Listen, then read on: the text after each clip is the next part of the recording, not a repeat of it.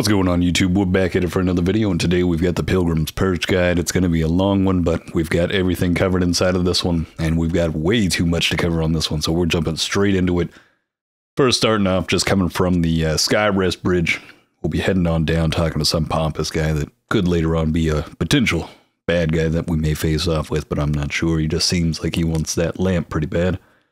But down from him, we'll find a new spear, could be beneficial for some people, but honestly, it's one of those earlier game ones. And we'll also be talking to a strange looking man that eventually gives us a stick after conversing with him.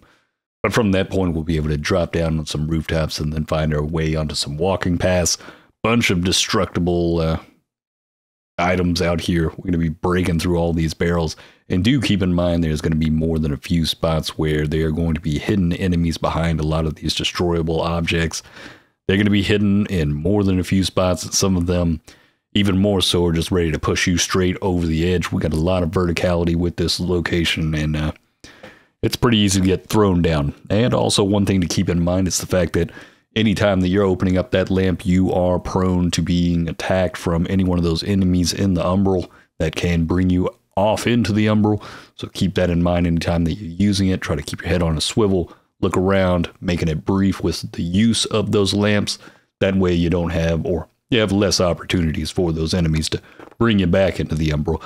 The worst part about being brought into the Umbral is those moments when you don't have one of those shrunken heads or you're not near one of the Vestige points, as not only is it going to be one of those moments where you've lost your capability of having a second life, but it pretty much doubles the enemy amount you'll be facing going forward just makes things a whole lot more frustrating. And trust me, if you face off with some of those Reapers a couple of times, they're just going to make any fight 10 times harder because they're just agile, constantly moving around. And even those husks can be absolutely devastating and horribly frustrating when they're in large packs.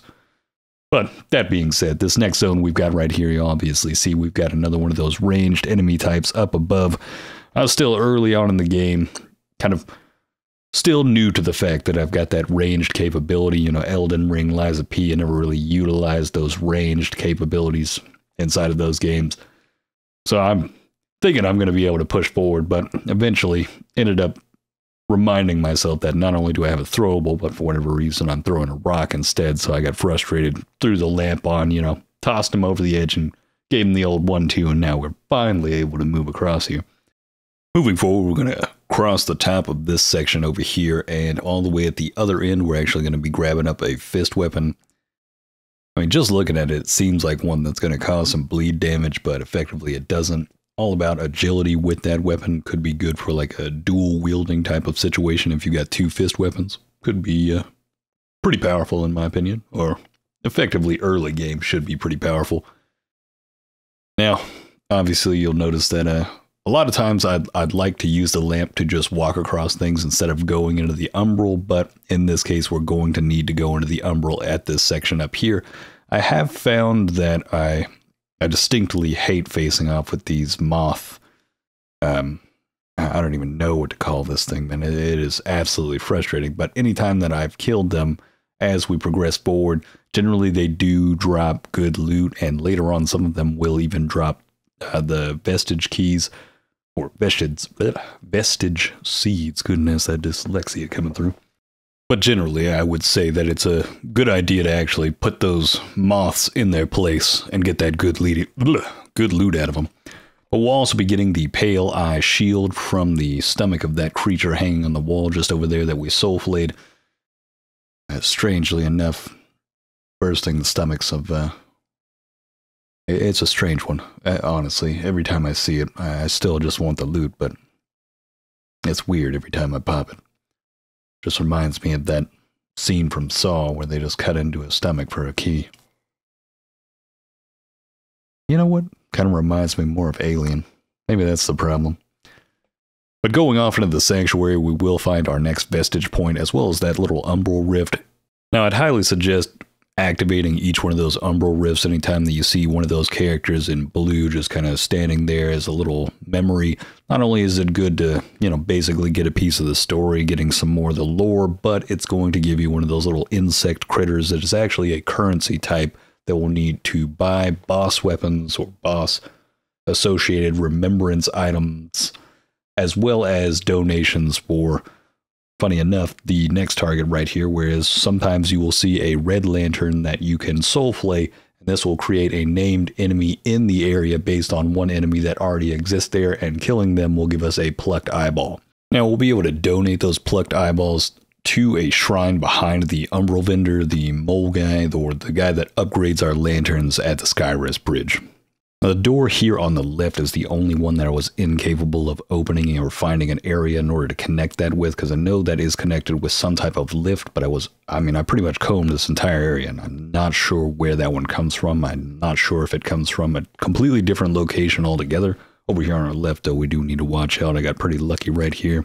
We've got an enemy ready to just push, it, push us off. But if anybody watching the video has already made it through that doorway, I would love for you to comment down below. You know, pin your comment if you've found out how to actually open that one up or just uh, giving us a little heads up. You know, no spoilers, but if it's one of those where you got to complete a certain objective or get past a certain point at a different area that possibly connects this with that different area across the map, you know, let us know down in the comments below. But again, pushing forward, you know, I got to reiterate again, I am not the biggest fan of the jump in this game, and you can tell it is plagued me in more than a few ways. It's it's not the worst one, and but it takes some getting used to. But just over there on the left on that body, we will find some crafting material that will help us to upgrade our weapons later on. We will have a blacksmith by the end of this video. We'll we'll effectively be saving that person and then they will be at the Skyrest Bridge for us to upgrade our weapons, and it is going to be a huge help at sustaining some of that damage. And just here on that corner, again, we've got more of those enemies just ready to push you off. Those devs think they're they're quite funny. But yet again, once we get that uh, blacksmith, you know, I'll let you know as soon as we have that one available because it is going to be a huge help to getting through some of these harder sections and just giving you overall an easier time. Over here at the very back end, we will find a bell staff, which will have a bit of that holy damage stacked on top of physical damage. Could be uh, decent for possibly a caster, you know, just kind of have that funny, almost, you know, similar to those enemy types that we've been facing off with with the bells on their staffs that are just using some type of magic ranged attacks on us. Honestly, I hate them, but it would be funny to kind of mimic that in a way if you wanted to. But now we are actually underneath the Skybridge location. We will have to go into the Umbral. We will have another Umbral Rift over here yet again. You know, I, have got to emphasize you definitely want those little shrimpies that we get out of those, and it's going to be a huge help. Now, at this point, you know, it'll seem like we're blocked off over here, but we'll go back into the uh, Axiom, Land of the Living, and we'll actually need to walk halfway across that little walkway that we were just on inside of the umbral in order to drop down. As you'll notice, I have that keen eye for loot. I just took a look over there and I saw that little wisp and I thought to myself, well, we definitely missed something over here, but we'll have to pull out the lamp, walk halfway across, and then drop down.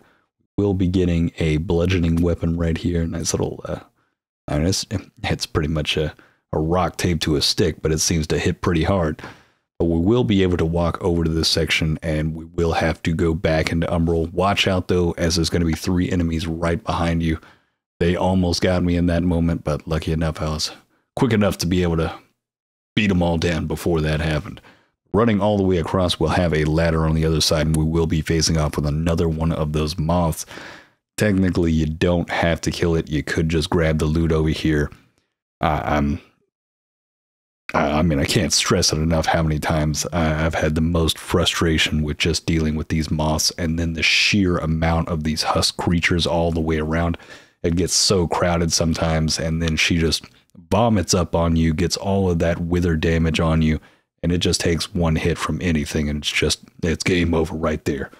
Extremely frustrating to have to run all the way back, but you know, if if you don't really mind the possibility of not getting the loot or just not getting the uh, vigor from this, you know, it's not the end of the world. Uh, yeah, this this moth definitely didn't drop anything of real importance, but we will get the Crimson Rector sword. I did actually change over to this for my two-handed great sword build It was a little bit of a step up, and we will find a different version of this weapon actually a little bit later on that will be even better. Now, just across this little spinal cord for this person over here, we'll be bursting the stomach and getting the Sky Bridge key. Now, as soon as we get that, we need to book it all the way to the other end, and on the left, we need to hit one of those little voodoo shrunken heads and go back into Axiom. Now, from that point, we'll be heading to the stairs over here on the right, and we'll be getting a new Crimson Rector shield that could be paired with this weapon if you really wanted to, but I'm going all two-handed with this one. Great swords, what it is. Now, just up this, we're actually going to be back at the main hub for the Skyrest Bridge. You can actually use the lamp to get through this door if you wanted to, but we need to go back down as there's another door we need to open and a whole lot more secrets underneath the Sky Bridge itself down here that we need to uncover. Now, once we come into this room, we're actually going to need to go into the Umbral as we are going to find ourselves in the midst of quite a few different secrets inside of here. Not just one, I believe there's about three that we'll be uncovering throughout this now.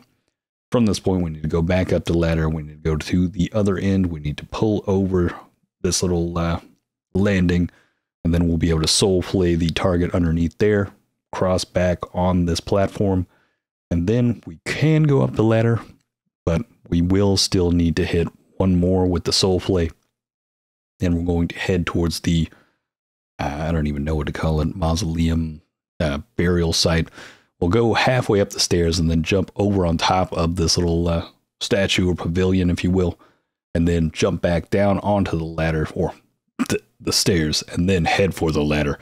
And then we'll be able to burst the stomach over here. Now, this will give us something that may be beneficial for Inferno players, but this will actually be something that we can gift to somebody else as like a little bit of a secret and then gain something else from it. I'm not sure what happens later on in the game if we do this trick, but over here on the right, we will also get an amulet that further increases our damage based on smaller carry weight, or effectively, that's what it seemed like it does from what I read from it. From that point, we'll go to the right after we come out of that gate. We'll get a couple of those Vigor Skulls and a chest that gives us an armor set that's better suited towards holy resistance, as far as I can tell. Seems like something that could be a you know nice little cosplay, but just behind a couple of graves over here. Now there is a third vigor skull just behind us on this bench over here that we'll be grabbing up, and then we'll be heading up the stairwell. Now up the stairwell on our right, we're actually going to see, or first we'll head over to the left, and then at the other end, we'll actually open up the doorways. That way, we're back into the main hall for the Skyrest Bridge. Now, you can run out. You know, I, I immediately went and bought the Pilgrim's Perch key because I just had enough for it, and I wanted all the secrets in this zone. As soon as I see a key's up for sale, I'm going to buy that as soon as I can, just so any moment that we're traveling through here, I'm able to open those up. But we'll be heading into the Umbral from this point, hit that Umbral Rift for those little shrimp cocktails, the little uh, tokens over here, and then we'll have a prisoner over here, and we can actually give her the item that we found at the top of that uh, ladder. Certain what happens from this point going forward, whether or not she becomes an enemy later on or an ally. But if we head back to the vestige point and we actually rest up, we'll actually come back to this location and she's melted the bars and she's gotten out. And then the caged helmet that she's wearing is what we can pick up from it bit of a weak trade-off in my opinion. You know, the the helmet itself isn't that great. I wouldn't consider it anything that's beneficial for you at the beginning other than just a little bit of cosmetic, but maybe that item could have been better for you if you're a spellcaster. For me, it's not a big deal, but it's it's up to you. I'm not sure what's going to come out of this, but just down the hallway from her, we'll be heading into the wall to our right in order to get some more of those vigor skulls, and we will get a throwable at the end of this. But I'm not certain, you know, what's going to happen with that character after we help them. You know, it's it's up to you whether or not you wanted to keep that item. It could be beneficial for you, but there's our short javelin that we'll be getting as a throwable from jumping down here. But I'm interested to see what happens in the coming future with that character after uh, helping her with that item. But from this point, we're going to be heading back to the Vestige Point at the Skyrest Bridge, and we'll be teleporting back to the Sanctuary Vestige Point that we were at just before that with all the bells and with the Umbral Rift inside of there. That's going to be our next location we'll be pushing forward from with the ladder off to the left of that vestige point. But so far, I've been pretty much pleased with this game. I'm loving all the secrets. Uh, there's only been one boss fight that I've been particularly super mad about. Now, in this next location, we have more than a few spots where we'll need to use that lamp and keep in mind that there are going to be enemies lurking around every corner in here. From this, we will be able to get the condemned suit and a broken buff, bucket as a weapon, funny enough. But this will actually be one of those uh, starting classes we could have chose at the beginning. We'll just be able to get his full suit. Do keep in mind, every time that you use a lamp in this section, there are enemies lurking around and they can pull you into the umbral. And we will have to go into the umbral, so it won't be too big of a deal. And just over here, we'll actually get uh, some vertebrae, which is going to be something that we can consume in order to get uh, a passive regeneration of soul flays over time after consuming it. But from this point, we'll actually jump to the other end. We'll have another one of those barred up sections that we can move through in the umbral. And we'll actually get a grenade that is effectively like a holy hand grenade. It'd be funny if we had, um, you know, some rabbits to deal with inside of this game. Some people might catch that reference. Who knows? let me know that in the comments. But if you haven't seen that Monty Python uh, skit, it's it's one for the books. But just down the ladder, we'll actually meet up with a woman that seems to be a follower of Adyr, or I, am not even sure if it's a woman. I'm going to be honest.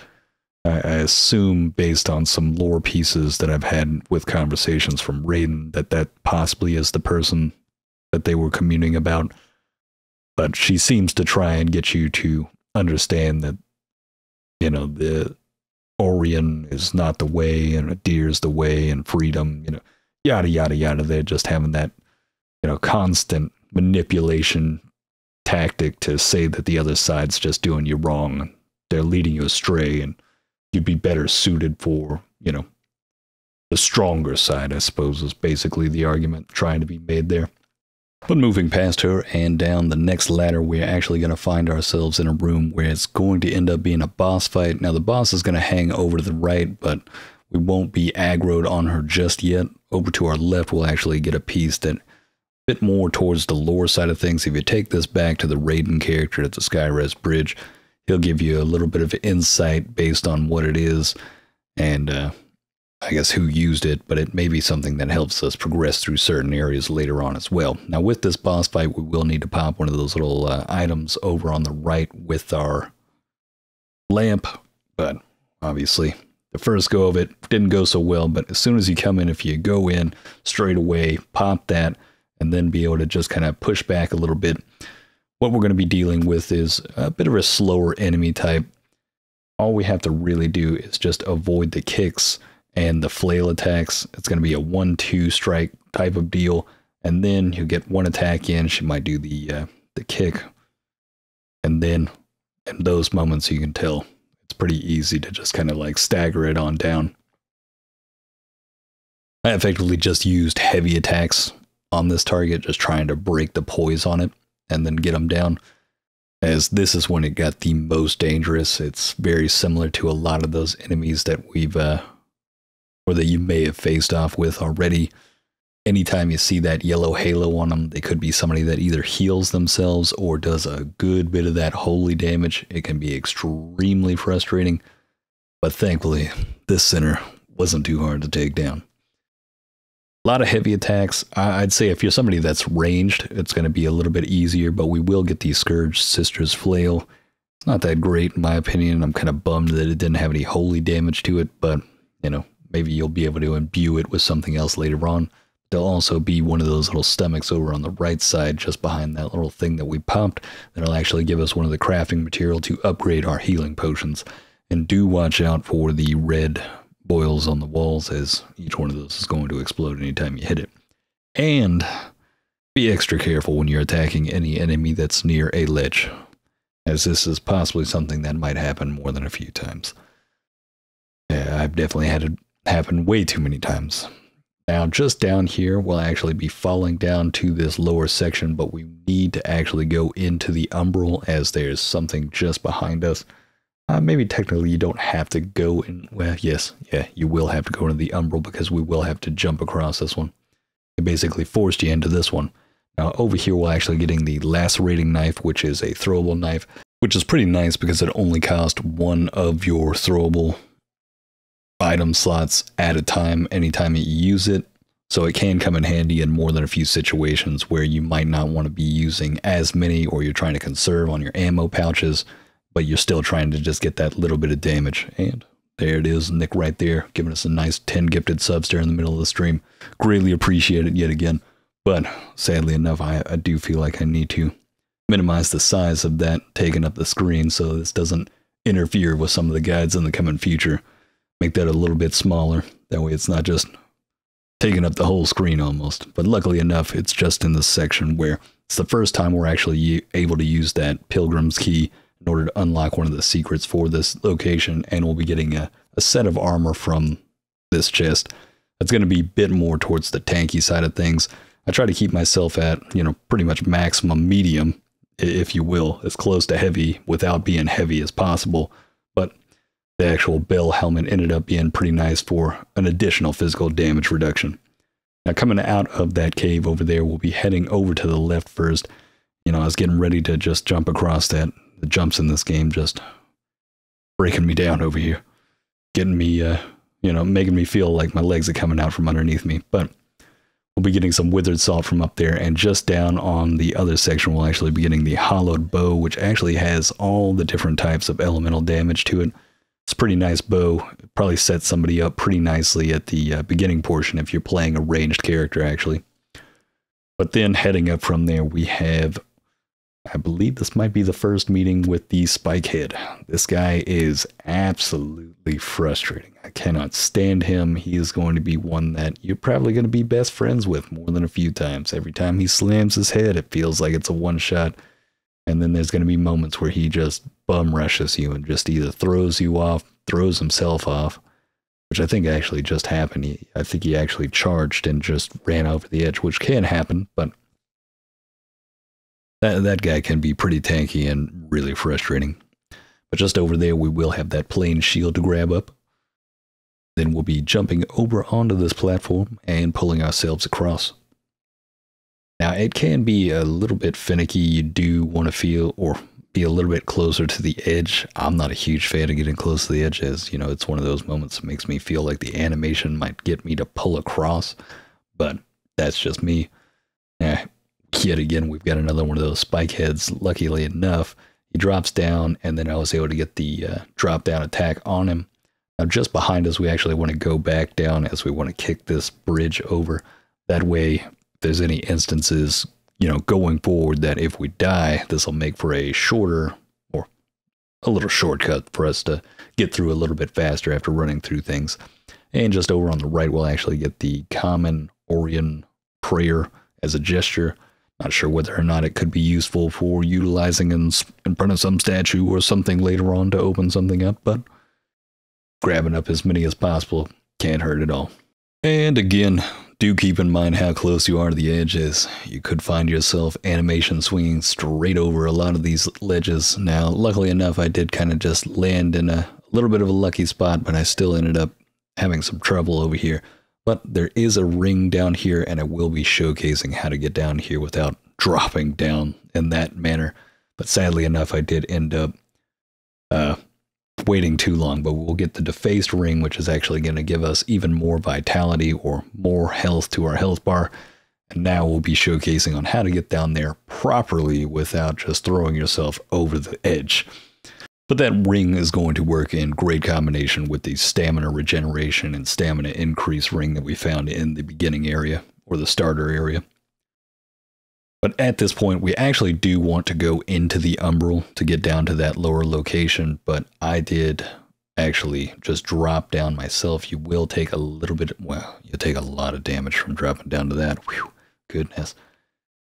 But if you drop down, it's not a good idea. You want to go into the umbral and then go down there if you do want to face off with that uh, moth down there. There may be, uh, I'm trying to remember if I did end up killing it, doesn't look like it. It must have just spawned in at its own leisure. I must have just been too long in the umbral, and that's why that moth spawned down there. But going up to the top, we'll actually be able to use one of those shrunken head voodoo dolls in order to get back into Axiom. Now, from that point, we'll have a little bit of a, a terrifying platformer moment yet again, but thankfully it's a bit easier than the ones we've had beforehand. And just over to our left, we will have the Hallowed Praise, which is seems to be some type of bleeding type sword, one that's better suited for sword and shield, not a great sword type of weapon. So if you're looking for something like that, could be pretty beneficial for you. Now heading up over into this section, we'll go up the ladder and then head over to the right. You'll want to pop into Umbral, as there's going to be another one of those stomachs we need to pop. And from this, we'll actually be getting the, is it the Holy Bleed Ring, which is going to give us the capability of having more bleed resistance from enemies that we'll be phasing off with. Sadly enough, we've got another one of those spike heads. You could just run past these guys, but at the same time, you know, I feel like I have to kill everything at least once as I'm pushing through the game. But at this section over here, what we're going to be doing is going into the umbral and over to our right, we'll be finding ourselves a little bit of a secret pathway. We'll have to do a little bit more of that platforming. Hopefully it goes uh, well for you as it did for me in this one section. But then we'll be pulling ourselves across on this platform and we'll be knocking down a ladder over here. We'll need to get that done first and then over to our right we will have another piece of that loot. Over here, I believe this is going to be the, yep, the Thorned Crimson Rector Sword. This is the one that gives us the bleeding capability, the better one that I was talking about. I started using that a little bit later on. I don't think I initially used it because it was 10 attack power less, but I ended up using it later on just to have that capability of utilizing the bleed on different enemy types. Now we will have another enemy up top here, but we will also be getting some of that crafting material for upgrading our weapon at the top of that ladder, so you do want to head up there and grab that up. Now sadly enough, I still ended up dying over here, even though the spikehead guy got stuck over there in the corner. But what we'll need to do is actually go over to the left where that open passage is. He's got one of those things protecting him. That's why he seems so tanky. So now we wait for him to come over, and then I was actually able to just push him over the edge. Made it a whole lot easier. And now in this next room, we'll have our next vestige point where we'll be able to basically be utilizing this one for connecting every single one of the next locations. It's pretty much the main hub vestige point in this location. Now over to our right, you can use the key, the Pilgrim's Perch key, in order to get into this room, but I would not suggest going in this direction just yet. Those enemies inside there are going to be extremely powerful, and you end up wanting to actually go left, as these are going to be the enemy types that are going to be on your same level by this point. You definitely want to clear this section out before ever entering into there I went headfirst into the other location and I wasted a huge amount of time on a bunch of enemies that basically, I mean, they were just eating hits. Some of these lower type enemies were actually ended, pretty much ending up taking about five hits just to take them down. And they were hitting so much harder. It, it hmm, it's not a good time, trust me. And I probably wasted about an hour in that section over there, if not a little bit longer before heading in this direction. And over on our right, we will get another one of those umbral eyes that we can socket into our lamp after we've gone back to the Skyrest Bridge. Now, I didn't see it as being something hugely beneficial for me, but who knows, it could be something that's uh, better suited for you. But later on, we will be getting, after we've moved on to some different areas, not in this video just yet, but we will be getting an upgrade to our lamp, so we will have two sockets for it.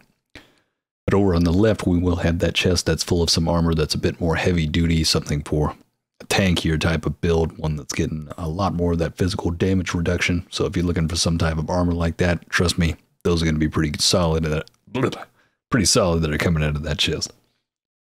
Now heading on down through here, we get a little bit of those minor fire salts, giving us the capability of imbuing our weapon with a little fire. And over to our left, we will be getting a little bit more of that cosmetic color that we can place on some of our armors to give us a little bit of a different look. Now, just down from those two enemies, we will have another one of those shrunken head voodoo dolls that we'll be coming back into Axiom with. And sadly enough, we won't be able to use this lift just yet, but later on, we will be unlocking that for ourselves. now, from this point, you'll notice there or you might not be able to see it just yet, but there's one of those spiky head guys right there. I decided to use the drop down attack on that. As you'll notice, it did a thousand damage right there. Basically made him one shot. Sometimes that's the best way to get it done. You can really cheese certain moments. I mean, even if you, uh, or I guess the idea would be if you felt like this is a little bit too difficult for you, maybe don't like the knights, don't like the uh, spike head guys, you could just run back, jump up on that ladder, wait for them to come over, and then just kind of cheese it in that way. Just keep drop attacking them as this is one of those locations where you're not going to be taking damage from some of those drops. Other locations, it may be a bit more difficult, but sometimes you can utilize that to kind of give you that little bit of an advantage, advantage in certain locations. Now, there is a ladder on the left side that you can drop down in order to kind of like close the gap as a little bit of a different shortcut. I didn't see it as being that useful. I actually kind of missed it, but I never had to really use it but it could be beneficial for you, and that's going to be on the opposite side from where we are right now in order to drop that down. But we will also have this Umbral Rift over here, so you want to get a couple of those shrimps up. Those tokens are going to be pretty useful later on. Then we'll be dropping down over on this side, and from the point of being an Umbral, we'll have an item over here on the left, which is going to be the Spiky Head Helmet, which apparently I've already found one before. I guess it can drop off some of those enemies, similar to Elden Ring, where if you know, you kill enough of some of these enemies, they have that random loot drop moment. But just across with this platform over here, we have another one of those moths to deal with. A lot of times I usually deal with these moths with just simply striking them with heavy strikes, just charging up that heavy attack, as it'll generally stagger them, and it even cause the moments when they have that AoE damage or any type of attack they may be doing, it'll actually break them out of the capability of utilizing that attack. Now, just back there, we were able to get up. What was the item? Kind of got lost there. Ah, it's going to be our first amulet. This is going to be something that's going to further increase our health as well. So it's going to be hugely beneficial for us. Great start for, you know, finally getting all the sockets filled with this one. Now, I tried to use the drop down attack on this guy right here and for whatever reason there's certain ledges that when you come off of it it i guess it just doesn't have enough height to drop the damage on but he definitely ran up right behind me but you'll notice yet there was that moment right there where i was able to strike down it's a bit finicky sometimes but it, it when it works it works it works really well but when it doesn't it's extremely frustrating now we will need to go into Axiom for this location. There's going to be more than a few enemies down here, so I'd I'd highly suggest killing these enemies first. As as soon as we uh, go for the loot that's in the center, will have a couple of those moths spawning in. Now, this is probably the one time that I ran away from these moths, so I just did not feel like dealing with them. Broke this open, grabbed up the item, which is actually going to be something that we'll be going to talk with the Umbral Merchant inside of Skyrest Bridge, similar to some of those other items that I've been talking about, where you'll have lore pieces with uh, with Raiden, the bowl, something. I'm not certain on whether or not this is going to be very significant for us, but it could be something that's beneficial for us later on to possibly passing through one of the umbral gateways or something along those lines, as this is something that will, when you bring it up to uh, the umbral vendor or the lamp upgrade guy at the Skyrest Bridge, he almost talks about it in the way of like a riddle, like it's something for a passageway. So, I mean, we've got it. So, whenever one of those locations comes about, we'll be ready. We'll be ready to open it, hopefully, and just not have to worry about it at all. But you know, that's that's one of the greater portions of trying to be that completionist and grabbing up everything in every area you go through. You're prepared for every scenario going forward. But jumping down over to our left, we'll actually get some more of that ammo pouch, a little bit more of those crafting materials or consumable materials that may help us out later on. So I've started to use them much more often, especially the uh, healing rocks. Just pop a couple of those in the mouth. You're doing pretty good. Saving on some of those health potions, that's for sure. Now, from this point, we, we I believe it was there's two of the spiky head guys on this location. There's one on the left, and then there's one on the right. Thankfully, one of them just you, you saw him just run over the edge, but you can use the lamp in order to throw these guys over the ledge. I'm still a, a little bit confused on how to get the direction properly with throwing them with the uh, the soul flay of the lamp. But at this location, we will have to go into Umbral. So we're going to have to pop in to open up the doorway with that we're going through just now and walk down to the lower section. Over here on the top right, we've got the first soul flay that we'll need to conduct. And then over to our left, got another one. And now we'll need to go up under the platform that we're on right now. Be a couple more of those little husk creatures over here. Don't believe there's one of the moths, as long as we don't stick around too long. But we'll also have another piece of loot down here to grab up. With plenty of these husks to deal with. In large groups, they can be extremely dangerous. And we'll also get the Book of Sin, which is another one of those lore pieces from Raiden. Again, still not certain whether or not these are things that may be beneficial to unlocking certain areas or possibly unlocking side quests, maybe, who knows. But having them is never going to hurt. And as we progress through, once I find out, or once I find more to what the uses might possibly be, I'll start to communicate that as I go through the guides, going through the rest of the game. But heading down from this, we'll have more than a few locations where you could put a checkpoint, but I would not suggest it just yet, as just down at the bottom right here, you want to just run and jump on that lift, honestly, because it's going to head straight up to where that, that bell room uh, vestige point is. If you remember where the guy's sitting there, and we've got the bell door as well that was off to the right that I told you was, uh, you know, much higher level you might as well just jump on that lift and go all the way up. That way you can just rest up and just have this location easily capable of going back down to. Now, I ended up going back to the uh, Skyrest Bridge, and as I told you before, you know, you can hand over that bowl that we just found. He starts to talk about it in a, a form of a riddle, and you can go down to Raiden and communicate with him based on the items we just found. But at the same time, you do want to upgrade your healing potions, get another one of those, and possibly just anything that could be an upgrade for you. And at the same time, upgrade your level. But do be careful after coming out of that lift, as over to the left, we will be capable of being dropped down to the ground, having multiple dogs on us, the knight on us, it can be a painful situation, but this room in particular is going to be beneficial for us, and you do want to kill the knight, as if you kill the knight, we get the prison cell key. Want that no matter what, as on the other side of this room is where our blacksmith is going to be. Now, just behind this, next to this waterfall, we've got some, uh, I can't remember the name of it, effectively some more consumable. Now, that is another door that we can use or we can use the Pilgrim's Perch key on. I would not suggest opening it just yet. This is another one of those sections where these enemies are way stronger, and it's a bit confusing why they why they make one little side section outside here with a bunch of enemies that are almost extremely overpowered. And especially when there's only one piece of loot out there, which I mean, it's not the worst piece of loot, but it's a bit confusing to me why they would make some of these doors with this key where it's like the level of the enemies behind that door are far beyond what you're capable of facing off with at this time. Now, we will talk to the woman that's the blacksmith behind there, give her the key.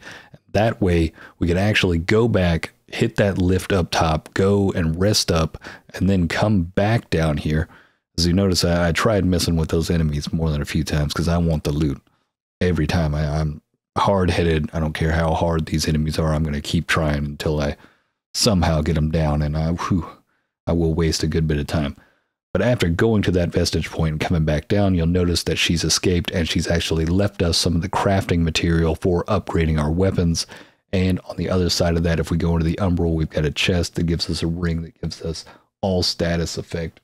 Or I should say, resistance to all status effects, which is a little bit better. You know, it could be one of those rings that you pop on, giving you a little bit more of that damage reduction, especially if you're more towards like the physical damage reduction like me. Now, if you're really hard headed like I am and you really want that loot, after you come back to this location after getting a good bit of levels, my whole game plan was to run out there, commit suicide, go into the Umbral, force some of them over the edge, and then I ended up just literally running back into this room and just kind of cheesing it, just going up the ladder and started using throwables. It just made it so much easier. I wasted so much time earlier just trying to get the loot out of this, and it, it's literally one necklace. I'm not going to say it's hugely worth it, uh, and I'm not going to say you really even need to kill anybody. I mean, if you have the capability of running out there and just grabbing it, I mean, more power to you, man. Because this was absolutely absurd to me how behind this door, like the level of these enemies, just it was just too dangerous. Especially the the multitude of different enemy types. There's like three ranged, two bigger boys, and ah, it's just way too dangerous in my opinion, just for one amulet which is the Warrior's Claw. That's going to further increase our physical damage and physical damage resistance or physical defense, which isn't bad, but for what we had to face over here, it is absolutely absurd. And it is one of those moments that makes me feel that some of the game was balanced around having two players. Now, from this portion, I would highly suggest going back up the lift and going back to the Skyrest Bridge if you haven't already to actually visit with the blacksmith and upgrade your weapon. But if you have gotten that done already, we'll be heading past where those enemies were ready to knock us off, and we'll actually be going down some ladders, down to a lift, and meeting with the uh, person that seems to be a fan of a deer again. And then right after that, finding ourselves in the midst of a little bit of a boss fight. We'll be facing off with three dogs and a bit of a stronger archer. Now, the thing that I would focus on first is getting rid of the hounds, as the hounds will continuously spawn through the fight, but having those three at the beginning, or it might just be two at the beginning, I'm not even certain, but just having those aggro you during that whole time, they, they can deal quite a bit of damage and they can just really rough you up when it comes to certain moments where just trying to maintain the capability of closing in with the archer as the best bet or at least for me was closing in getting close enough to where I could get one of those heavy strikes in as this archer doesn't have a whole lot of poise to them it's pretty easy to stagger them and get some of that added damage from those moments as you'll notice it happened more than a few times during this fight but even then, when getting close to this archer, she can pull out her knife and then stab at you. So do keep that in mind. Look for that animation, like right there. She will reach for her hip and then be ready to slash forward. It can be pretty devastating when it comes to the damage, but as long as you can get that one heavy strike in, get that stagger in, and then roll back, and then start going left or right, you don't necessarily have to strafe, but moving constantly to the left or the right is going to be beneficial for avoiding some of those arrows. And the utmost dangerous one is when she's got that elemental status effect of the holy damage with it. You want to get rid of that pretty quickly. Luckily enough, I was able to get this done on the first go. We've got that center judged. We'll get a sword from this along with a few bits of armor. Not the greatest sword, but it could be something beneficial for you. But after that was done, I headed back to that person that was uh, a fan of a deer, bought up the flame grenade that they had, thinking it was going to be pretty good. It actually wasn't a great throwable for me, but who knows? It could be something based on uh, needing Inferno or some type of spellcaster possibly getting more from it. But just down from the uh, point of that boss fight, we will be walking into our next vestige point this is actually going to progress forward to the next area that you actually want to go for, the main quest line. But we're actually going to walk out just a bit, find that strange guy out there that gave us a stick. He's now a vendor. And find a map over to our left, but we're going to head back to that vestige point for the purpose of this video to give us the guide for breaking down the uh, the full area of Pilgrim's Perch. Now we'll be heading back to the bell room vestige point and we'll be heading into that room that I told you you don't want to go into just yet as it's going to have those stronger enemies in it. Now, as soon as we come in, we're going to be dealing with one archer and one knight. Get pretty acclimated with these knights. They're uh, they're actually a whole lot easier than you think. They're they're more aggro when there's more enemies around them, But generally, if it's 1v1 with these knights, I, I never have a problem anymore. He's either a 1 to 2 strike, and then he goes up over his head. And you'll notice as soon as he has that mace over his head, he'll have a little twitch moment, and then he'll just slam down. And it's super easy to just trail in with some of those attacks. But over on the left side from those enemies, we'll have a wall that we can actually walk into, and we'll be meeting up with the angler loot. This has been something that has been absolutely devastating for me. And if you want to know how to find this every single time, anytime you see loot on the ground, generally there's a flame that just basically stands still almost. It may wiggle very, very slightly, but if it is one of those moments where it is wiggling like there is a flame that is dancing in the wind, as you'll notice over here on the left, it just seems to be going left, right. It's got deep curves to it that's going to be the angler loot. That is an absolutely nightmare creature for me because I am I am very prone to just going and grabbing that as quickly as possible. But in this room, I died to the uh, moth a couple of times, but I believe this is one of those moths that you actually want to kill as it's going to give you some pretty decent loot from it. I can't remember if this one actually did give me a uh, vestige key or vestige seed. Every time I think it's a key, but it's it's actually a seed. Sadly enough, it wasn't the vestige seed this time, but we did get some of those crafting material for upgrading our weapon. But you'll notice that it's just dancing. It'll have that curve to it, and you'll never see that with any of the other. You may see a small deviation, almost like that of like a, a just a very slight one. But I had to test it yet again just to see whether or not that was truly it, and you'll just see it dancing away. It, it moves like a worm, I guess is the best way to put it. Whereas the the other one's more like a, a small murmur on a some type of graph, I suppose. But moving down from there, we will have two archers and more than a few enemies in here and do not fall into the pit in front of us. This is probably one of the few times that I have not jumped down and just immediately tried to kill all the enemies in this room. There's three spikehead guys down there. It is it's devastating. And if you go down there in Umbral, it gets even worse. it's it's not a fun time, and it's just not worth the vigor, in my opinion. I'm going to be honest with you. It's just an absolute headache down there, and there's only one piece of loot to grab up down there, and that's the only reason I would ever go down there. Now, from this point, we'll be crossing back over into Axiom, and there is going to be a ranged enemy at the other side of that circular room over there. So do keep that in mind. I did try to just uh, get this archer with the uh, with the lamp. That that did not work out at all. But over on the left side of this pit over here, we'll actually have a, I believe it's a holy hammer. But you'll notice how ridiculous it gets down there. I mean, there's just too many enemies down there.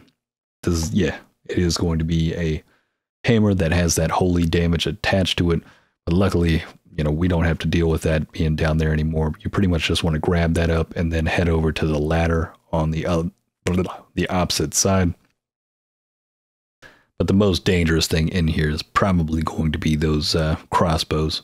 For whatever reason, they, it feels like they have the most damage in this game, and I cannot stand them. God, they're the most frustrating thing in this game to me. Every time I see one of those archers, those or these little those bell staves that start throwing things. You know, at least with these guys, it's a bit easier to telegraph it. With the crossbowman, it's like he's got one shot and then he's got another one just ready out of nowhere. Like he's got a double shot crossbow. I mean, this uh, absurd, absolutely frustrating. I can't stand it at all. But they just make quick work of them as quickly as you possibly can. Similar to this guy, I absolutely hate this enemy type, and there's certain instances where I've faced off with him where he basically can just one-shot me some of his swings. I don't know how much holy damage he's got on that sword, but it gets even worse when you find out the fact that by the time you get him to half health, he can just end up healing himself. And not only does he heal himself, if he's got other enemies around him, he will also continuously heal them at the same rate.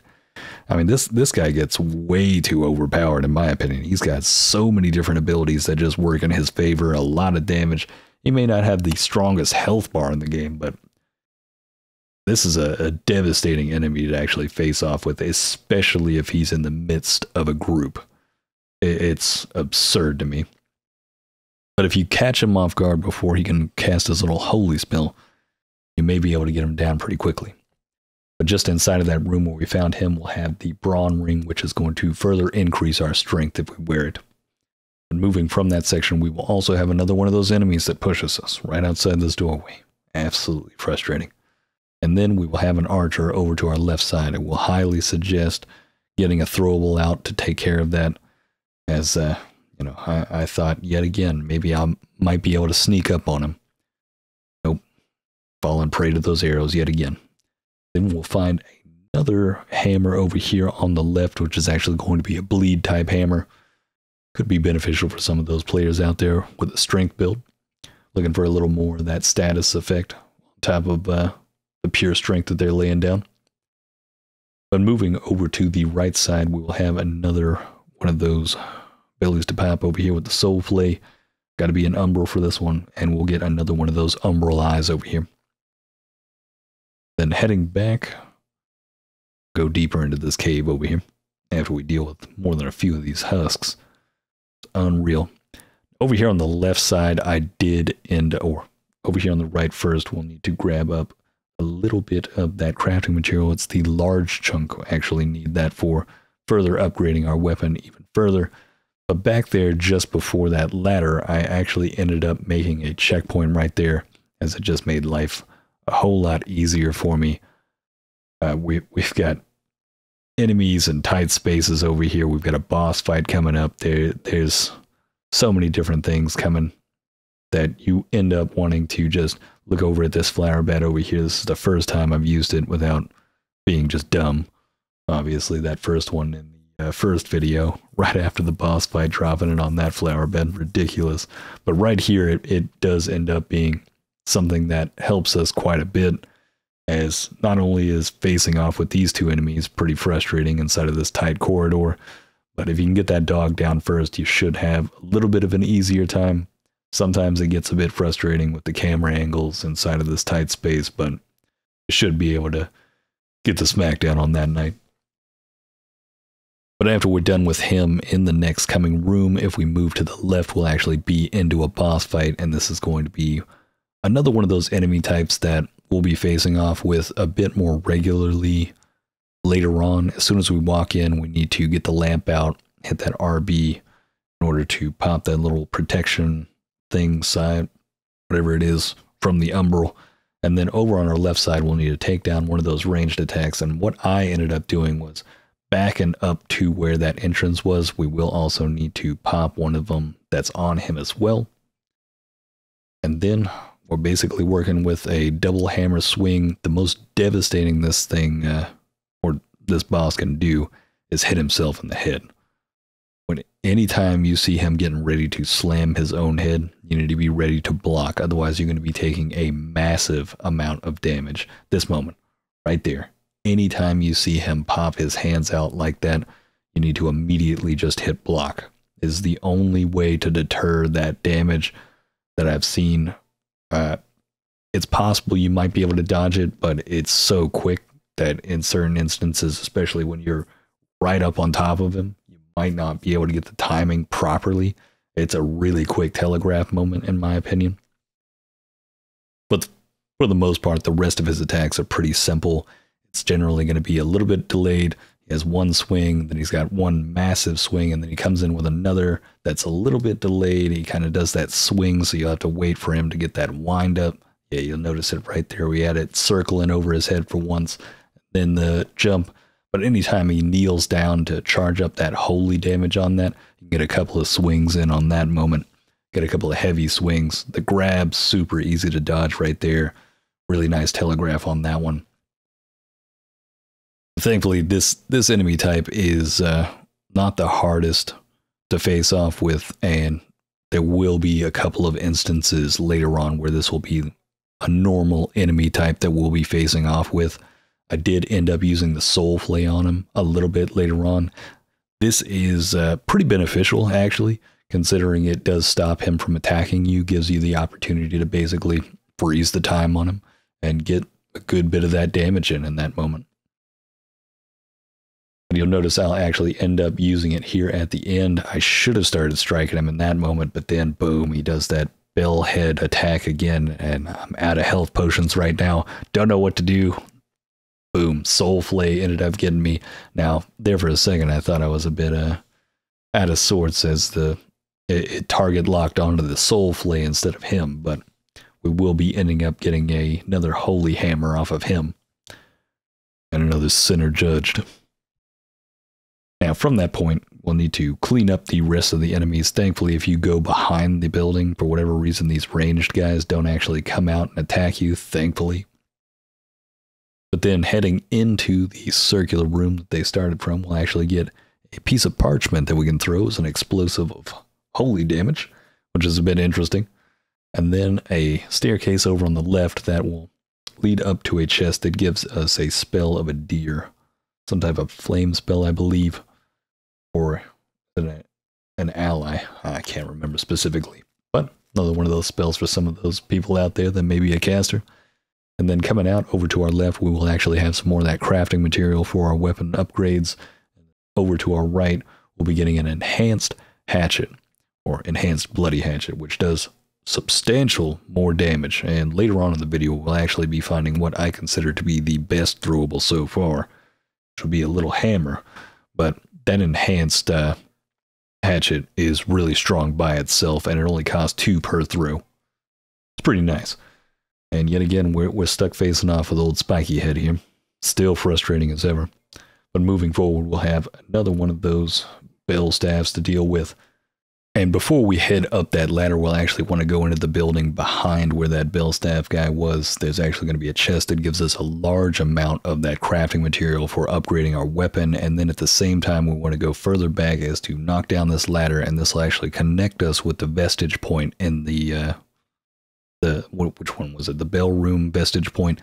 That way we can rest up, breathe easy, get that health back in, and get ready to also level up before you move on with all that vigor we've got built up.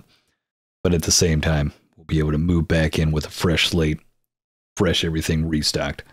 Now, from this point, we are going to be dealing with more than a few of the uh, spiky head guys. It's who. It's a good time going up this vertical incline. Now, just behind us, there's actually going to be a barrel. You know, they're going to play a little bit of a Donkey Kong moment, so keep a keep an eye out for that. I don't know they're not going to actually knock you off. Thankfully, I was able to avoid it. But old Spiky Head, that's one thing I can't avoid. He came in strong with this one, and I tried to soul flay him over the edge, and he's got that charge ability to just one shot me almost. Absolutely devastating. Then I was able to get it done properly. That felt good. But one thing that we need to do is actually go into Umbral before we start heading all the way up as we drop down over to this uh, rooftop over here. We've got to pop that stomach over there. And what seems to be something we could socket into a weapon or shield, I haven't been able to, or I'm not sure how to apply that. I'm not sure what, I haven't found a weapon or I haven't looked deep enough to find whether or not I can go to the blacksmith and I, I guess socket that into something, but that could be beneficial for us later on. We'll have that ready. There's going to be two different archers up top here, and then there's going to be another two archers and a knight over on top of this section over here. Sadly enough, I'm already an umbral, and you'll notice there's some moments where if you're an umbral, who that fight's going to be uh, three times as hard as it should be. Now, luckily enough, coming back, I was able to take down both of the archers. We'll need to pull out the lamp and pull off the uh, protective little amoeba that's on top of this knight over here. And then 1v1, nothing easier than facing off with this knight. He's no crucible knight, that's for sure. This one flops over pretty easily. Won't be taking this lift just yet, but we will be opening this door back here, and then we'll have another one of those healing guys. Absolutely frustrating to deal with, but luckily enough, I was able to soul him over the edge, or I thought I was. Oh, that's right. I got I got lucky. As soon as I died and went into the umbral, that pushed him off. Then I was able to face off with the moth. Now the moth by itself, you know, not too bad, but when you get the knight, the two archers, and everything else going, oh man, that's a that's a devastating playing field. But we did get a vestige seed off of that one moth right there. So that's that's a good moth to kill. Now we've got another one of those fist weapons. That one's actually going to be a bleeder. Which, I mean, I guess it's serrated a little bit. Now, oh, right here, we got another one of those enemies that pushes us off. Oh, don't get caught like I did. That is that's that's almost as frustrating to just watch as it is to actually happen to you. But moving on from that portion, we've got another one of those bell staffs over on the edge. We'll be able to knock them off pretty quickly, and then another knight to face off with. Now, in this next room, I would suggest, you know, it's it's not the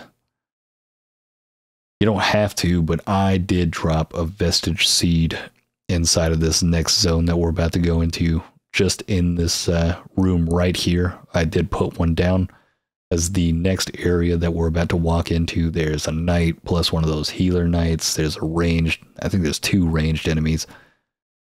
It was pretty frustrating, and we do have to push a little bit more forward from this point. So if you're one of those people that likes to at least kill one of each of these enemies, that might not be a bad idea right there to pop down that unless you just want to keep running up that and then just running past everything to get to this point and then fight them. You know, it's up to you. But up this ladder on top of this building, there actually is another ring that we can grab up over here. Now, for whatever reason, they, they don't seem to jump up on top of here. You seem to be protected if you don't uh, if you don't just jump down. But we've got the Slinger's Ring, which is going to give us additional damage for throwables. Now, I tried to cheese them right here by doing that drop down attack thing. You'll notice he was healing both of them, and then they cheesed me. I tried dropping down. You could tell I was definitely about to swing, but for whatever reason, I got caught on their shoulders, and I still got hit by their attacks. Bit cheeky, in my opinion. But what seems to be the play here is to actually walk out and then knock off the two right there, the knight and the other one. And then all you've got to deal with is this, uh, you know, holy knight over here and one archer. Get rid of that guy pretty quickly. And you will still be able to get that drop down damage from this. Sometimes it works, sometimes it doesn't. It can be uh, a bit finicky, but luckily enough, I was able to actually just throw him off the lamp. That felt pretty good right there. Now, moving down from this section, it's going to get a little bit dangerous. We've got one of those uh, ranged attacks, not only uh, on our right, but also on our left. We've got another couple of knights as well. So do keep that in mind. We're going to have more than a few enemies over here to deal with. And then there's another one over here on our left. Now, you can activate the lift on our left to make things a little bit easier if you didn't already put the vestige seed behind you, as that's going to connect us with that uh, section down below. Inside of this room, though, we'll have two of those ranged attackers on either side. And if you end up going into Umbral, you're going to have two Reapers to deal with, so keep that in mind. Um, honestly, I, I did not face off with them. Every time that I see them, they just, uh, they're a bit too frustrating for me. If, it, if it's not a must kill, when it comes to some of these Umbral creatures, I'm, I'm out. But just over there that we've got another ring to grab up over here that gives us more holy defense and a little bit of those uh, armor pieces that accompany that. I think this was one of those moments where I ended up going into the umbral on accident. Oh no, I forced myself out. So I was just trying to face off with it. I ended up getting some of the items for one of these Reapers. there's generally two of them. Uh, apparently, one of them already died somehow. I'm guessing that's how that loot was there. And I just didn't even notice, but they're just not a fun one to fight with me. Or with me. They're just not one that's fun to fight, in my opinion. And I just do not enjoy taking on that enemy type. It's just, uh, they always try to run from me. I feel like I need to use throwables and they dodge throwables. Like, but we'll be taking that lift back up as it's not going to be the thing that pushes us into the next location. We'll be heading back to the lift that we passed up earlier in order to grab up another one of those vestige points that gets us to the next zone that we'll need to access in a different guide. But we'll have to face off with some of those knights again. We'll be walking past. You'll notice there's the uh, vestige point that I spawned in for myself back there, and sadly enough, It almost felt a little bit wasted as we're basically in between two points that are vestige points. But we'll be getting onto this uh, lift going up.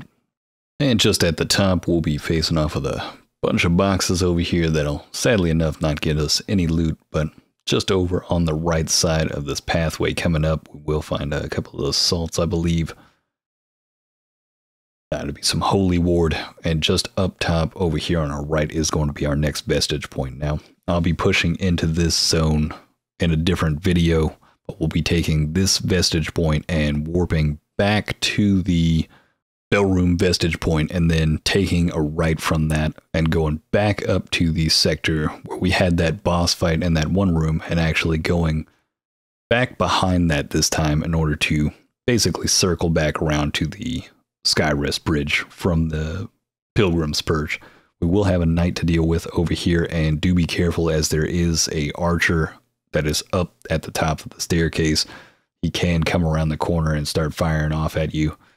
And during that fight with that, it could be pretty frustrating. Again, we've got another one of those spiky head guys over here. More than a few difficult enemies that we're about to face off with in this section over here, and they will be a little bit tankier if you haven't leveled yourself up a little bit. So uh, do keep that in mind. You know, some of these zones you may want to progress a little bit into other areas or go further with uh, pushing into the main areas. Like I said before, with that first vestige point that we found, you know, you might want to just roll in through there. It's going to be a whole lot easier for you. And I'll have that guide coming out tomorrow, actually. But heading up this way, we've got another one of those knights to deal with and more than a few dogs in the next room. But if you do end up going into Umbral, don't even worry about it. We've got a vestige point that's just around the corner, and we've got one of those voodoo uh, shrunken head dolls over here to get us back into Axiom. And just over here on our left, we'll also find, I believe it's a bleeding weapon. Get the Bloody Glory. This is going to be something that has a little bit more to do with radiance, I believe. So maybe there's a bit of like holy damage with that, or something for a, a caster's slash melee type of player. Who knows? Could be pretty uh, decent for you. But heading out of that cave, we'll find our vestige point over here on the left, the deter. And then just off to the left of that, we will find another ring that's actually going to further increase, uh, or it's going to give us the capability of regenerating a little bit of health after using one of our health vials. Sadly enough, when walking past this entrance, every time you're going to aggro the dogs and the knight inside of this cave, I really wish it didn't work like this. I don't feel like it should work like this. Even if you walk slowly past this doorway, they still come out every single time. It is extremely frustrating that if you end up dying, you always have to have this fight right here every single time. But not not every single time, but every single time that you may have to go into this next area in front of us right here. You can run past some of this up to a certain point without any of them chasing you, but it is pretty irritating if you're just going into this next little zone a couple of times where we have to deal with some pretty aggro enemy types and large groups and just having to basically fight these guys each time it's it's a little bit obnoxious honestly but over here, you'll notice we have another one of those stomachs to pop over here on the wall once we get into Axiom, but we have a dog and another archer over here. I used throwables on them. They do have one of those protective umbral things that just basically heals them instead of making them invincible.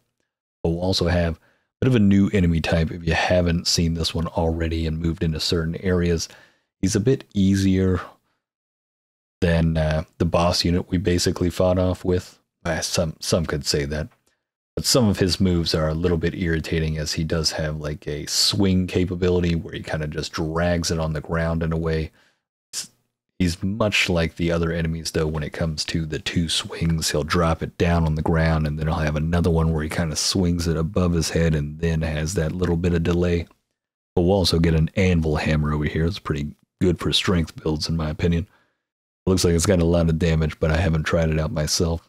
Might be trying it out a little bit uh, later into the gameplay, though, just to have a good bit of fun. But we will have another Umbral Rift at the top of this. You want to pop that open just to get that shrimp cocktail. A little bit of that currency. And then over to our right, we've got another one of those secrets within the Umbral. And this one's going to be pretty dangerous over here. There's going to be two uh, those moths that come out, and there is going to be a ton of the husks that come out. This is a really dangerous area over here, and this is why I was so frustrated with those enemies actually coming out of that cave every time that I spawned in, because this became a bit of a problem for me. But I figured best way to get this done, literally after too many times running this, was to use the throwables on the two ranged targets that were there initially, take out one of the eggs that spawns in a husk. Then you've got to get lucky what you've got to get lucky with is if two of these moths spawn right next to each other. Because if you run up and you do a heaviest strike, you can just knock them straight over the edge and they're done. We're done with it. Oh, God. But then you'll start to notice how many of these uh, husks can come in. I mean, there's five right off the bat, and then there's going to be more that are dropping in. A couple of them spawn in through the eggs. Then, thankfully, we'll be able to pop that over there, and we'll actually be getting little bit of that crafting material to upgrade our health potion. So it is beneficial to come out here. I did end up getting a, a vestige seed over here as well. So it, it was worth it, but it is still a really irritating spot to fight. And it, it is definitely one of those where I'm like, man, this would have been so much easier if I had one other person with me. There's so many different moments where I think to myself, some of this game Uh, it's almost like they sat there and said, well, a solo, you know, veteran player is going to have the experience of uh, it being a lot harder for themselves and giving them a challenge. And then if you had two players, it, it, it may seem balanced. I don't know. I don't even know if it might even be balanced in that moment, especially if you had some, you're just dragging some casual dead weight through with you. Who, no, I don't know. Maybe it might be worse who knows? But I'm still having a good time with it, but it can be extremely frustrating at certain times. But thankfully, heading back, you'll actually notice that I ran back up to this location over here and I actually just wanted to die over here with some of the uh, vigor that I had gained down there. That way I didn't lose it or had to go down there and fight some of them. That would have been frustrating. But now I'm actually going to head over and actually pop the uh, stomach that was on this wall over here. Probably should have told you guys to get this done beforehand but it's not too hard to grab it up and you don't have to kill the guy up on top of the hill either. He doesn't actually get aggroed on you, but we'll get another, I believe that was another Umbrali. No, no, no, it's not an Umbral. It's the diminishing missile, which is another spell that you can cast. Now, moving forward from that section, we'll have a couple of these uh, smaller warriors to deal with down here. But then we'll also have another one of those holy healing knights down here. Thankfully, he's not as troublesome in this scenario, but we are in a little bit of a closed in environment. And with him having that capability of making his like light clones and they still deal a lot of damage, it can be irritating to fight off with him. But thankfully, he, he's still he's a little bit squishier now that I leveled myself. Then over here on the right, we got a little bit of that consumable to help us with having some holy resistance. And then just down here, if you run up for whatever reason, they don't really want to pass the stairs in front of you, like the very bottom of the stairs. This is one of those points where you can run past, and everything that's behind you, any of those enemies that might have been chasing you, as soon as you pass these stairs, they actually won't chase after you pass that point. So if you want to just keep running to this point and just pass everything that was just behind us, even the ones in that cave, this is the point where you can get to where they'll just lose aggro, thankfully. But outside here, you'll notice yet again, like I was saying before, that Archer becomes a bit of a, a regular enemy type and will have more than a few of those dogs accompanying her. Thankfully, she is much easier to fight in this scenario than she was when she was a boss. A lot less health on there. But I would highly suggest not using the voodoo uh, shrunken head doll over here, as there's a couple of things we need to grab up from inside Umbral over here. But at the same time, you do want to take out these archers over here. Now, over here next to the tree, we do have another one of those dogs to face off with, but we will also be getting a new piece of parchment, an enhanced one that has much more holy damage to it. Explosive holy damage. And then just below that, we've got another one of those angler loots. So keep that in mind. Inside of this location, there can be a rogue piece of loot that can get you killed. But just next to it, right there, we will have another I suppose, catalyst, something that, uh, you know, empowers you for using spells. This one may be better for some of those Inferno, or no, that one may be better for Umbral players. Now, just behind us, there was actually a door in the Umbral, but we won't be able to pass through it just yet. We'll need to walk in the path or footsteps of the doomed paladin in order to get that done. So it's another one of those moments where we got to progress through the story in order to make sure that that opens later on. You'll notice it right here over on our left. And you definitely don't want to be in Umbral by the time you uh, make it down to those two knights. You want to make sure that you stay out of Umbral through this whole scenario. And the point that I'm showcasing here is you want to walk in, you want to use the throwable to take down the archer and then take down all of the dogs. Thankfully enough, we're able to get this done pretty smoothly, and we've got that voodoo shrunken head doll over there to bring us out of Umbral and then back into An- Axiom. But you'll notice the door right there that we won't be able to get into just yet. I'll be doing a video on that later on once I finally get it opened and accessed it through gaining the uh, footsteps of the Doomed Paladin later on. But that should be pretty interesting for a video later on to get that tied in together. I do really like that they're using some of the previous areas in order to gain access to new ones and the whole aspect of not really giving you a straightforward path as to where to go does feel kind of nice you know? Sometimes the the hand holding you know the hand holding can be nice at times and then other times it is really nice to just be able to actually figure out that okay i need to go this way you know? There's nothing that's showing you the direction but you figuring it out yourself can be almost as rewarding. And at the same time it can be beneficial for some of us content creators to make guides like this but we'll have two different knights to deal with down here and you definitely don't want to go into umbral down here as there's going to be one of those reapers to deal with and if you've got that reaper to deal with on top of these two knights that's a, that's a real troublesome fight that I, I would guarantee. Ooh, here's the best one, best throwable I've seen so far: the enhanced lump hammer. My God, this thing does so much damage. I mean, I'd be ripping people with this thing. I, I love this. I've been chewing through ammo pouches, just using this all day long. It makes my life so simple in certain moments. This thing can do 800 damage at certain times because of the strength benefit from it. Beautiful. Oh God, it's beautiful but it does cost three every time you throw it, so it is it's a bit expensive, but it's worth it.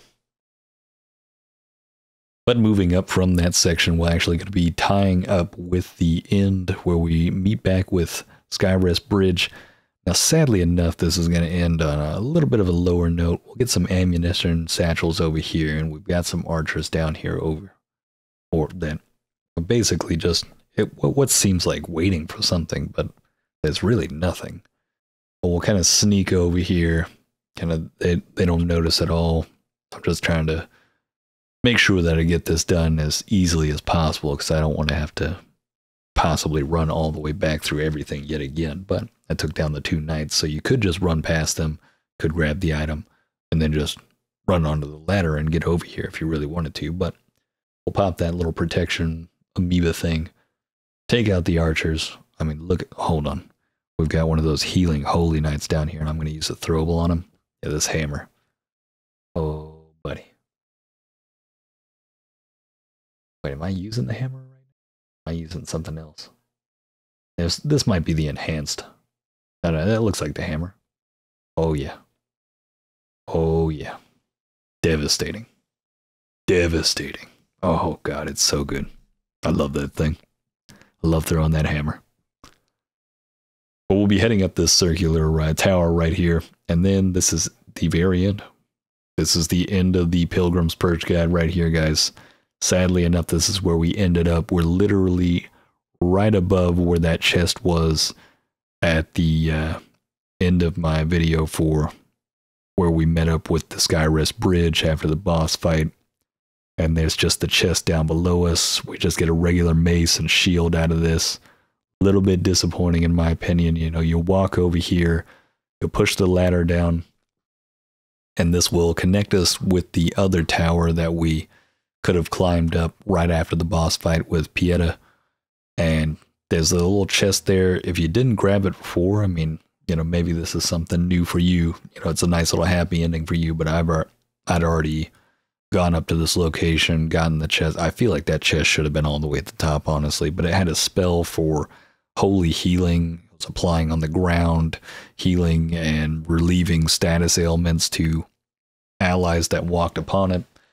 It's not a bad spell, but at the same time, if you've already gotten it, it did kind of just make that whole pathway that we just took a little bit less entertaining, especially since we couldn't get through that one door that had the, uh, you know, needed the footsteps for the doomed paladin. But guys, that's going to be the end for the Pilgrim's Perch guide. Hopefully you've enjoyed this. Hopefully this has helped you out. Again, if anybody knows about that one locked door at the very beginning of the video, let me know down in the comments below. Still wondering whether or not that might be something connected like with that doomed paladin footsteps door. Who knows? these could be different pathways that could be connecting in that manner. And then later on, I'll just have to do some videos on those certain sections. Tomorrow, I'll be doing with the Fin guide, and I possibly will have the Frost Zone guide up on top of here as well. Uh, the Tower of Penitence, I believe. I can't remember the name of some of these locations, but we've got a plethora of guides coming forward. We're going to be doing as much 100% as we can going through some of the side quests, finding all the loot in all these areas, giving you as many of these tips and tricks for some of these boss fights and going forward, just being as helpful as we can for a lot of those Souls players coming through. But Lords of the Fallen's been a good time. Hopefully you're enjoying it yourself. You know, let me know. Let me know down in the comments below uh, what your experience has been as well. And if you've enjoyed some of this content, hit that subscribe button. If you want to see some of this content live, hit that link down in the description below. Follow me over at Twitch. We'll be streaming pretty much daily on Lords of the Fallen. And on that note, I'll see you in the next one and have a good one.